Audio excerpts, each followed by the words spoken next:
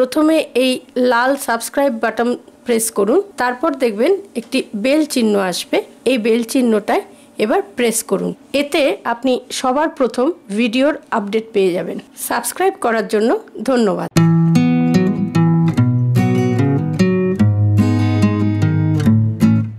আমাদের শরীরে দেখবেন অনেকেরই, সকলেরই নয়, অনেকেরই ফাটা দাগ থাকে।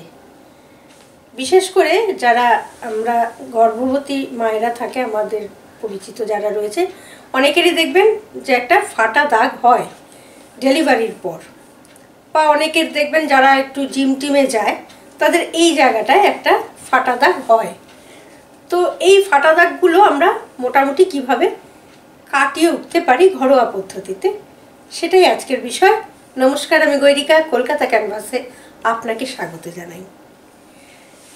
প্রথমেই বলি যে এই ফাটা দাগগুলো আপনি খুব সহজেই কাটাতে পারবেন। সেটা হচ্ছে আলুর রস। বাড়িতে আলু থাকে, আলু থেতো করে রস বার করে নিন। সেই রসটা দিয়ে ওই ফাটা জায়গাটায় আপনি ভালো করে মাসাজ করুন। এভাবে বেশ কয়েকদিন করতে থাকলে আস্তে আস্তে দেখবেন আপনার ওই ফাটা দাগটা অনেকটা ঠিক হয়ে গিয়েছে।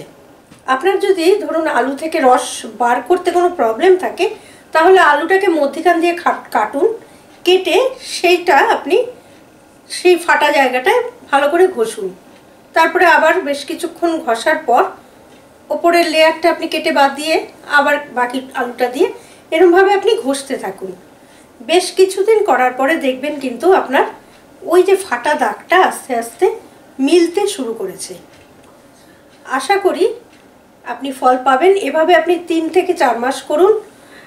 আমাকে জানাবেন অবশ্যই যে আপনার কাজে লাগল কি না আর আজকের ভিডিওটা যদি ভালো লাগে লাইক করবেন শেয়ার করবেন, অবশ্যই কমেন্ট বক্সে কমেন্ট দেবেন।